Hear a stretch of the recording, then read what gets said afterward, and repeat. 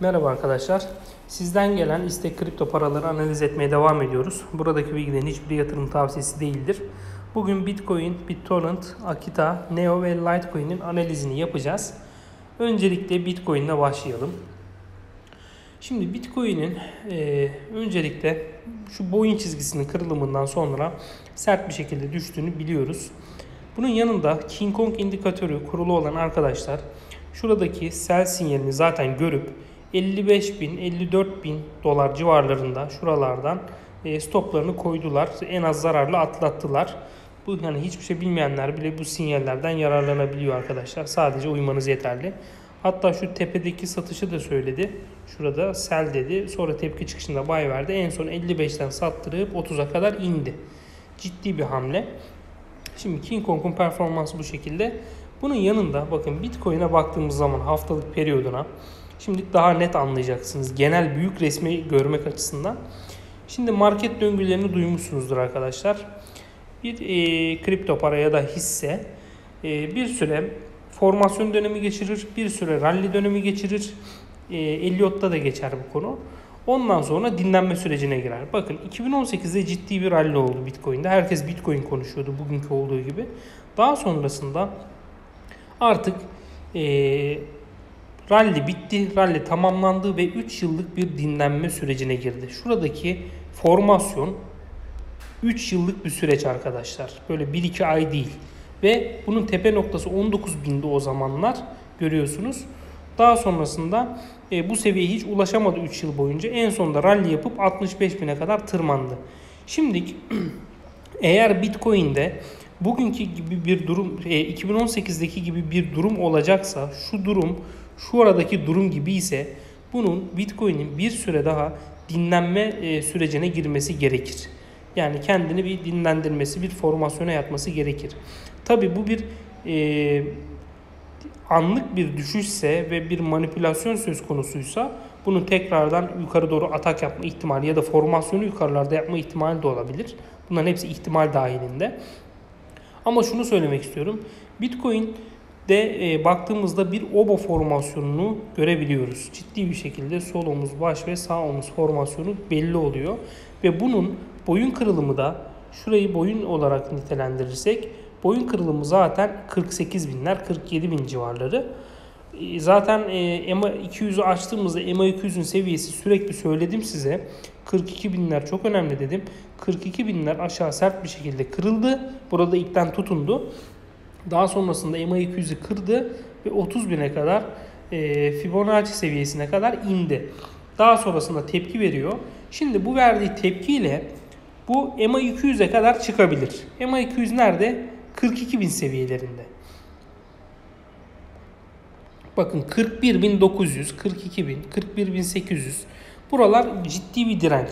Yani bu seviyelere kadar tırmanıp şu an zaten negatif trendde ya bu seviyelere kadar tırmanıp şöyle tekrardan kendini aşağı salarsa bir kat daha düşme potansiyeli olabilir Bitcoin'in.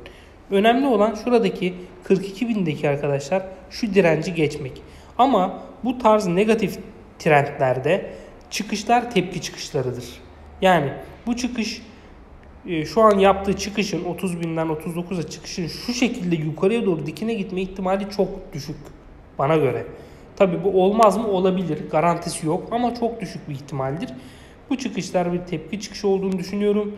Buraya kadar çıkıp 42 bini geçemezse çok dikkatli olmak lazım. Kendini tekrardan aşağı salıp yukarı aşağı yukarı aşağı sonra daha sonrasında tekrar aşağı gibisinden bir formasyon üretme sürecine girebilir. Dikkatli olmanız konusunda uyarıyorum. Tabi temennimiz ne? Buradan çıksın, şu 42 bini aşsın, şuralarda oyalansın, tekrar çıksın, formasyonu yukarıda yapsın. Yani temennimiz bu şekilde. Umarım bu şekilde olur. Ama dediğim e, faktörü unutmayın. E, 42 bin önemli bir seviye. Geçilmesi gereken önemli bir direnç. Ortalamalarına baktığımızda da bu şekilde görüyoruz. İçimokusar tekniğine baktığımızda arkadaşlar İçimokusar'ın tüm parametrelerinin negatif olduğunu görüyoruz. Ne zaman negatife geçti? Bulut, bulutun altına kırıldığı noktada yani İçimokusar en erken şeyi vermiş, sinyali vermiş. 53.800 seviyeleri bulutun alt desteğinin kırıldığı yer. Bu seviye kırıldıktan sonra bulutun altına inmesi bir negatifliktir. Zaten Tenkan-sen ve Kijun-sen ortalamalarının da altına inmiş. Şurada gördüğünüz gibi Chikuspen ortalaması da mumların altında. Parabolik sarının noktaları da negatifte çünkü mumların üzerinde. Bir çıkış olması için mutlaka mumların altında yanması lazım. Şu an Ichimokusar tekniği de negatifte. Çıkışların bekleyeceğiz. Bir formasyon oluşumunu görmemiz gerekiyor. Gördükten sonra gün gün analiz etmemiz gerekiyor arkadaşlar bunu. Tabi uzun vade için çok güzel yerlere gelme potansiyeli olabilir. 2 yıllık süreçte, 3 yıllık süreçte, belki 5 yıllık süreçte 150-200 binler belki komik bir rakam gibi gelecek bize Bitcoin'de. Ama böyle kısa vadeli anlık değerlendirdiğimizde e, ileriye dönük projeksiyonuna baktığımızda durumu bu şekilde görüyoruz. Takip etmek gerekiyor. Şimdi Bitcoin, Bit, e, BitTorrent'a bakalım. BitTorrent'taki meseleyi hemen anlatayım size. Önce bir King Kong'a bakalım. King Kong bize dipte en son buy sinyalini iki kere verdi. İkincisi verdikten sonra şu rally'yi gerçekleştirdi. Bunu yakalayabilenler yakaladı. Dönüşte de sattırdı birkaç kez. En son sat sinyali var. BitTorrent'taki en son sat sinyali bakın. En son sat sinyaline uyulsa zaten hani sonunu okuyayım size. 74 bin seviyeleri, 74 bin dolar diyeyim ben size. Sıfırlar var önünde tabi. 74'ten arkadaşlar kaça kadar düştü? 25. Yani 3 kat düştü. Şu düşüşten kurtulmak sadece şuradaki sinyale bakarak mümkündü. Bunu takip edenler yine King Kong kurulu olanlar kazandı. Şimdi BitTorrent'ın genel görünümüne baktığımızda arkadaşlar ciddi bir tırmanış, bir rally. Bunu hissede görsem ben bu hisseden kaçar uzaklaşırım. Çünkü kısa sürede böylesine bir rally genelde e, manipülasyonla mümkün oluyor. Hani şirket karlılığı vesairesinin hiç alakası yok böyle bir durumla. Şöyle baktığımızda dipten arkadaşlar %1100'lük bir prim söz konusu. Yani %1100'lük prim hani devasa bir prim. Yani 100 bin koyan bir kişinin parası 1.1 milyon oluyor gibisinden düşünün. Hem de bir aylık bir süreçte. Bu yüzden bu sert çıkışın gene dinlenme süreci her zaman söylediğimiz gibi olması kadar doğal bir şey yok. Şurada bir alçalanı var. Onu zaten direkt altına kırdı. Şöyle bir ortalamalarına baktığımızda EMA 200'e kadar inip EMA 200'den tepki verdiğini görüyoruz.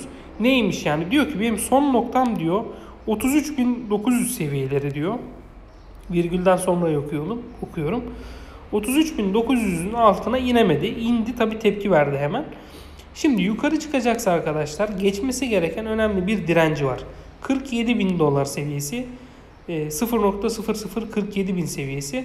Bu 47 bini geçtikten sonra karşısına 49.300'lerde tekrardan bir direnç çıkacak.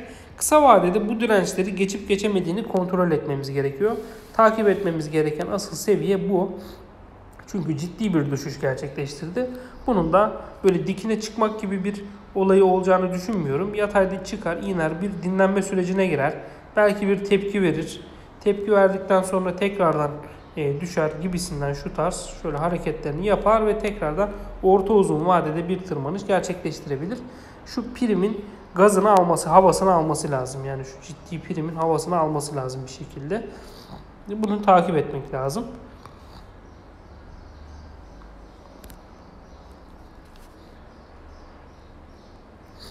Şimdi Ichimokusar'a baktığımızda bulutun altında negatif, parabolik sar negatif, Tenkan-sen Kyujin-sen'in altında negatif, Chikuspen negatif. Tüm parametreler negatifte. En yakın direnci 48 bin dolar seviyesinde. 48'i yukarı kırarsa eğer ki şuradaki Tenkan-sen direncini yukarı kırmayı başarırsa kendini 58'lere kadar atabilir 200 sene kadar. Ama 48'i kıramazsa tekrardan bunun altında düşüş eğilimi gösterir. Maalesef iç moksar tekniğinde de negatiflik söz konusu. Şu Akita'ya bakalım. Akita'da en çok konuşulan kriptolardan biri. Tabi tekniği falan yok. Böyle tekniğine bakıyoruz ama ben size grafiğin resmini göstermek için yapıyorum bunu. Burada da ciddi tırmanışı görüyorsunuz zaten. Şöyle 4 saatlikte bakalım. Bu ciddi tırmanışın gö- bayağı bir gökdele, gökdelen olmuş yani. Bu en yüksek bina neydi? Ona benzemiş. E şimdi ne yapacak bu? Şu tepede alan yatırımcıyı dökene kadar burada belki 6 ay, belki 1 yıl, belki 3 yıl bekletecek, mal toplanacak, bir şeyler yapılacak. Bunun tahtıcısı, manipülatörü kimse toplayacak, toplayacak, toplayacak. Ondan sonra mecburen ne yapacak arkadaşlar? Yeni bir atak. Birçok kriptoda olduğu gibi. Tabi bunun süresi belli değil. E, kısa vadede baktığımızda şöyle King Kong bize ne demiş bunda? King Kong verisi olmadığı için çok geçmiş. Henüz yeni arz. Bakın. Ortalamalarına bakalım. Şöyle geçmesi gereken şu an bir direnç seviyesinde 4 saatlikte. Şu an 354'te virgülden sonra mutlaka 357'yi 357'deki 359'daki direncini geçip kendini 390'lara kadar atması lazım. Geçebilirse zaten atar. 390'lara kadar tırmanır. 390'ı da geçerse arkadaşlar 496 500'lere kadar gelme potansiyeli var. Ama geçemezse kendini buraya kadar atamazsa tekrardan şu 356'lardan 360'lardan aşağı doğru satış yiyebilir. Şu an bir direnç seviyesinde olduğunu görüyoruz kısa vadede. Ichimokusar'a baktığımızda da 4 saatte tüm parametreler negatifte. Bulutun altında olması zaten direkt e, bizi düşündürüyor. Dediğim gibi bunlar da senaryosu böyledir arkadaşlar. Bunlara mutlaka takip etmek lazım. Olası düşüşlerde de şu grafiğin geldiği yeri görüp ona göre kararları vermek gerekiyor. Şimdi Neo'da ne var? Neo'da açalım. Bakın King Kong Neo'da ne zaman sattırmış? Şuradaki tepki çıkışında aldırmış. Şu çıkıştan kazandırmış ve şurada sattırmış. Sattırdı seviye 120 dolar. 120 dolardan nereye gelmiş? 40 dolara kadar düşmüş. Şu sell sinyalini takip edenler zaten 110'lardan, 100'lerden, 110'lardan satışını vermiştir diye düşünüyorum günlük periyotta. Bunun yanında Neo'nun gene dipten şu çıkışta da baktığımızda şu çıkışta gene buy sinyali verdiğini görüyoruz. 40 dolardan buy sinyalini verdikten sonra 130'lara kadar tırmanıyor. Şimdi baktığımızda bunda da ciddi bir rally söz konusu. Şöyle grafiğin genişine baktığımızda ve onun düşüşünü ve şu an tepki çıkışı yapıyor gibi gözüküyor. Ortalamalarına baktığımızda yine MA200'den tepki vermiş. Son noktam benim 51 dolar demiş.